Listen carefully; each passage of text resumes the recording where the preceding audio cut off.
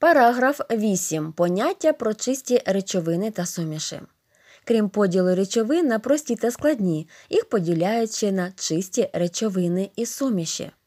Чим чиста речовина відрізняється від суміші. Речовину, що не містить домішок, інших речовин називають чистою. У ній містяться лише ті частинки, наприклад, молекули, атоми, з яких вона утворилася. Інших частинок у простій речовині бути не може. Хай би яким способом одержували чисту речовину, хоч би де у природі вона перебувала, склад її лишається незмінним. Слід зазначити, що абсолютно чистих речовин не існує. У кожній речовині є певна кількість домішок. Наприклад, ти добре знаєш таку речовину, як кухонасіль. Це тверда речовина білого кольору, солона на смак, розчинна у воді. Кухонна сіль, яку ми купуємо в магазині, продається у пачках з надписами Сіль екстра та кам'яна сіль.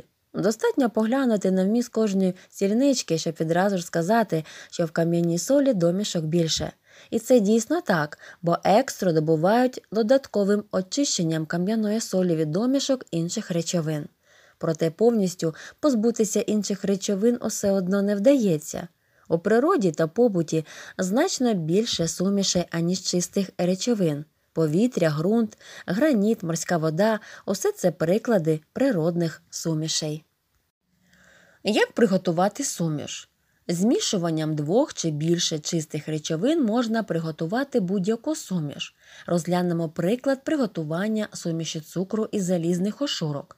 Цукор білого кольору і добре розчиняється у воді. Залізо в порошку темно-сірого кольору, і, напевно, ти знаєш, що воно має властивість притягуватися магнітом. Змішаємо однакові порцію цукру і залізних ошурок. Відтепер це буде суміш цукру і заліза. У ній є структурні частинки двох речовин. Можна брати різні кількості однієї та іншої речовин. У будь-якому разі це буде суміш цукру і заліза.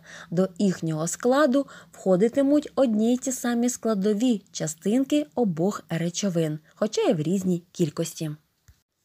Чи зберігають речовини свої властивості у складі суміші? Щоб з'ясувати, чи зберігають речовини свої властивості у складі суміші, виконаємо дослід.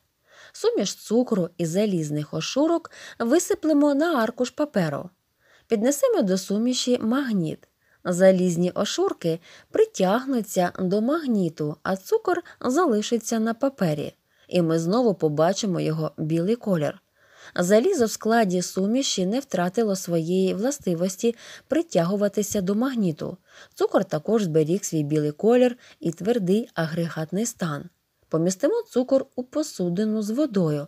Він досить швидко розчиниться, тож і ця властивість цукру збереглася.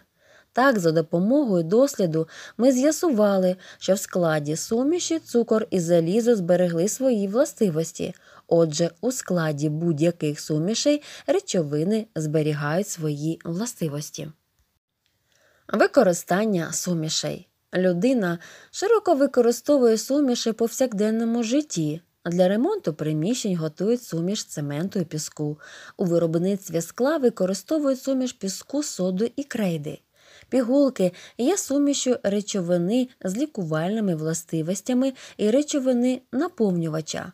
Напій чай це суміш, виготовлена з води, цукру і речовин, що надійшли у воду з листків чаю в результаті його заварювання. Йогурт, печиво, соки та інші продукти харчування, різні засоби повсякденного вжитку, наприклад, шампунь, зубна паста. Це теж суміші.